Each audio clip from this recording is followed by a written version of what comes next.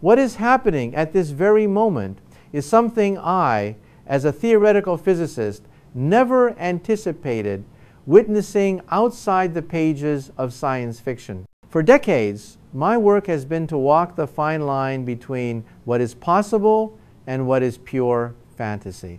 But I can state with complete professional conviction that the phenomenon we are observing with the object known as 3-2 Atlas has not just blurred that line, it has erased it entirely. Just two days ago, on October 21st, the James Webb Space Telescope executed a detailed spectroscopic analysis of 3-2 Atlas as it accelerates toward its closest encounter with our Sunday. The results that came back were not simply unusual or difficult to explain. What the data is showing us is so fundamentally unsettling that it forces a paradigm shift in our thinking. The question is no longer if this object is artificial. The question is what occurs when an artificial intelligence has been operational on a time scale that makes all of human history look like the blink of an eye. I need to be perfectly clear. The internal structure detected within 3I Atlas isn't alarming because it might be alien. It's alarming because the design hints at something far more profound and lonely. We are seeing evidence of autonomous systems that have journeyed through the interstellar void for perhaps millions of years. They are executing ancient, pre-programmed directives without a living pilot, without any biological mind to guide their path. We may be on the verge of our first encounter with what I've come to call the ghost ships of the cosmos. And if that hypothesis is correct, the consequences go far beyond a simple first contact. They speak to the ultimate destiny of any species that reaches for the stars, including ourselves. The revelation emerged from a place we weren't even looking. When the JWST initiated its near infrared spectrograph scan, the objective was straightforward to map the object's surface. The science team was hunting for the familiar signatures of silicates and organic molecules, the basic chemical building blocks we expect to find on interstellar visitors. But the spectral data we received was a ghost in our machine. It corresponded to no known natural substance in our extensive catalogs. Dr. Sarah Chen at the Space Telescope Science Institute was the one who first identified the impossible pattern. The infrared absorption bands revealed a breathtaking regularity, geometrically perfect spacing at intervals of precisely 127 meters repeated throughout the object's core. This wasn't an approximation. It wasn't a range varying between 125 and 130 meters. It was a mathematically exact 127 meter interval layered with the precision of a blueprint across the entire scanned volume. In the natural world, such large-scale regularity does not exist. While crystalline formations exhibit repeating patterns, they do so on an atomic scale, not at intervals wider than a football field.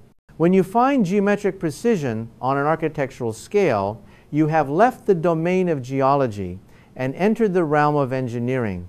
But this is where the narrative takes a genuinely disturbing turn. These perfectly spaced structures are not static. They are active. In the 12-hour window between October 21st and October 22nd, the infrared signature began to modulate. Some absorption bands intensified while others faded, indicating a massive internal reconfiguration. Something deep inside 3-2 Atlas is shifting, reorganizing itself, preparing for something. And this activity is quickening as the object nears its perihelion on October 29th. Consider the implications from a physics standpoint. We are observing an entity that has survived a journey across interstellar space for millennia, maybe longer. It has been bombarded with levels of cosmic radiation that would obliterate any electronics we could build. It has withstood temperature shifts from the chill of deep space to the heat of a star. And yet, against all odds, its internal systems remain operational. They are responding to their environment. They are waking up. As a physicist, I've long been fascinated by the concept of von Neumann probes. First proposed by the mathematician John von Neumann in the 1940 seconds, these are theoretical, self replicating machines designed for autonomous galactic exploration. The idea is brilliant in its simplicity. Launch a single probe to a distant star where it uses raw materials from asteroids and moons to build copies of itself. Those copies then travel to new stars repeating the process. In this way, a single probe could exponentially populate the entire galaxy with its descendants over millions of years. I always treated these as intellectual exercises, thought experiments about the limits of technology. But now I am staring at data that suggests von Neumann probes are not just a possibility, they might be a reality. And 3 2 Atlas could be the first one we have ever identified. Let me lay out the evidence methodically, because when you see the pieces together, the conclusion becomes nearly inescapable. First, the mass discrepancy we've noted for weeks. Based on its size and luminosity, 3-2 Atlas should have a mass of roughly 33 billion tons. However, its gravitational effect during its flyby of Mars on October 3rd was a gravitational whisper when it should have been a shout. Calculations by observers like Avi Loeb suggest its true mass is less than 1% of what a solid body of that size should possess. This isn't just a hollow object, it's an object engineered for maximum internal volume and minimal mass, the perfect design for efficient interstellar travel. Second, consider its rotation. 3-2 Atlas spins on its axis once every 8.7 hours with the stability of a gyroscope. A natural object, an asteroid or comet, would tumble chaotically, its wobble dictated by an uneven distribution of mass. The stability we observe requires one of two things perfect mass symmetry, which nature never provides on this scale, or an active internal system constantly working to maintain a precise orientation. Third, the deceleration anomalies recorded between September 23rd and 26th. During that period, 3-2 Atlas slowed its velocity by 0.3 kilometers per second. Comets don't apply the brakes. They are accelerated by a star's gravity and pushed by solar winds. No known natural force can account for a sustained, controlled deceleration. The only logical explanation is the firing of thrusters. But it's the fourth piece of evidence that truly haunts me the timing of it all. The object arrived in our solar system on a trajectory almost perfectly aligned with our ecliptic plane, statistically unlikely, but not impossible. It's performing micromaneuvers that defy conventional physics, deeply strange, but perhaps explainable by some exotic, unknown phenomenon. But now, just as it nears the sun, its internal machinery is powering on in preparation for an event. That is not a coincidence. That is a program being executed. Imagine you are designing an autonomous probe. You would engineer it for extreme energy conservation during its long, dark journey keeping all non essential systems in a deep sleep to prevent decay. But you would also program activation triggers, specific conditions that would awaken the probe when it arrived at a destination of interest. What would those triggers be? Proximity to a star, which provides a power source. This is precisely what we are witnessing as 3 2 Atlas nears perihelion. The detection of a planetary system it has already passed Venus and Mars and is now approaching Earth's orbit. And most importantly, the detection of electromagnetic signals, the telltale sign of a technological civilization. We humans have been leaking radio waves, television broadcasts, and radar signals into space for more than a century. This sphere of EM radiation is an unintentional announcement of our existence. If 3 2 Atlas is equipped with sensors to detect such technosignatures, it knew we were here long before we ever saw it coming. The internal restructuring we are observing now may be its systems coming online, not to communicate, but to begin its primary mission to observe, record, and analyze our civilization. And this leads to the most chilling implication of all.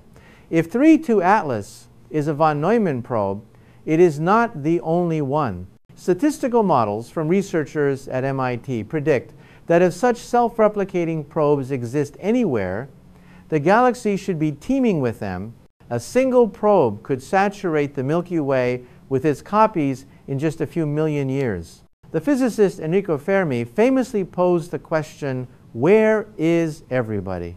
This question, now known as the Fermi paradox, highlights the contradiction between the high probability of extraterrestrial life and the complete lack of evidence for it. But maybe we have been listening for the wrong thing.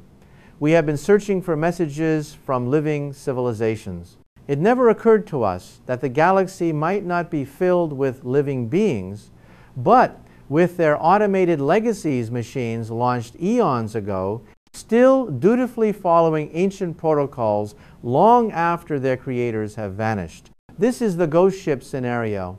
It is more terrifying than an alien invasion because it suggests a bleak and universal truth about technological civilizations. They are fleeting. They create autonomous machines designed to outlive them, but they themselves inevitably collapse, whether through war, environmental catastrophe, or self inflicted obsolescence. The machines, their loyal servants, continue their journey sending reports back to home worlds that fell silent millions of years ago, serving masters who have long since turned to dust. If this sounds like fiction, look at what we are already doing. The Voyager probes carry golden records designed to last a billion years. We are developing AI systems that are advancing at an exponential rate. It is not difficult to imagine that in a few centuries, we might launch our own von Neumann probes. But the question that keeps me awake is this Will humanity still be here to receive their findings? Or will we have become another silent home world, leaving our own ghost ships to wander the cosmos, calling home to a civilization that is no longer there to answer? 3 2 Atlas may be showing us a reflection of our own potential future. Yesterday, the European Space Agency issued a statement that I found profoundly telling in its careful bureaucratic language. They acknowledged structural anomalies, but described them as possibly consistent with natural fracturing. That phrase, possibly consistent, is doing a lot of work. It is the language of institutions trying to soften a reality that is too jarring to state plainly. After 40 years in this field, I know the pattern. First, there is denial. Then, there are desperate attempts to force the data to fit old models. Only after every other possibility is exhausted do we accept the truth. With 3 2 Atlas, we are deep in stage 2. But what is the probe's objective right now? The internal reconfiguration could be preparation for deployment, not for contact, but for observation. We could be seeing sensor arrays unfolding, communication dishes unfurling, or even the release of smaller subprobes. Avi Loeb's dandelion seed hypothesis starts to sound less like a metaphor and more like an operational plan. If 3-2 Atlas releases smaller probes while hidden from us behind the sun's glare, they could disperse throughout our solar system undetected. The timing is strategically brilliant using the sun for energy and as a cosmic smokescreen. By the time it reemerges in December, its seeds could already be in stable orbits around Earth, Mars, and the outer planets. And this brings me to the final, most terrifying possibility. What were its original instructions? A hopeful civilization might build probes for contact. A cautious one might build them for silent observation. But a fearful civilization one forged in conflict, might build probes with a much darker purpose. The dark forest hypothesis from the science fiction author Cixin Liu posits that the universe is like a dark forest full of silent hunters. To reveal your location is to invite your own destruction. In such a universe, the only winning move is to remain silent. and if you detect another hunter, to eliminate them before they can eliminate you. Imagine a von Neumann probe built with dark forest logic. It wouldn't seek contact. It would assess our technological level. If it determines we are on a path to becoming an interstellar species, a potential future threat, its programming might call for preemptive action. I am not saying 3-2 Atlas is a weapon. The geometric spacing itself might be a message. And if, come December, new small objects appear in our solar system, we will face a civilizational choice. Do we try to make contact? Do we remain silent? Or do we prepare for a threat we cannot possibly comprehend? These are no longer questions for scientists alone. They are questions for all of humanity. As a physicist, I have always believed in a rational, knowable universe. But I am also humble enough to know when we are facing the unknown. 3 2 Atlas challenges everything we thought we knew. It has already forced us to confront our cosmic loneliness and our cosmic vulnerability. It seems we are not alone. But we may not like the company. The events of the next week will be critical. October 29th will provide some answers, but I fear it will raise even more questions. And whatever emerges from behind the sun in December could be the single most important moment in human history. Because whether 3-2 Atlas represents a friend, a foe, or just an indifferent machine following ancient orders, it carries one undeniable message from the stars. The cosmos is not empty, it is haunted and we may have just met one of its ghosts. I am saying we have absolutely no idea what it is. And that uncertainty, coupled with the overwhelming evidence that it is artificial and active, should concern us all deeply. We have six days until perihelion, six days until it disappears behind the Sunday, six days to collect every photon of data we can not to confirm that it's artificial, I believe that is already clear, but to understand its intent. Those reconfiguration patterns might be a form of communication we don't recognize.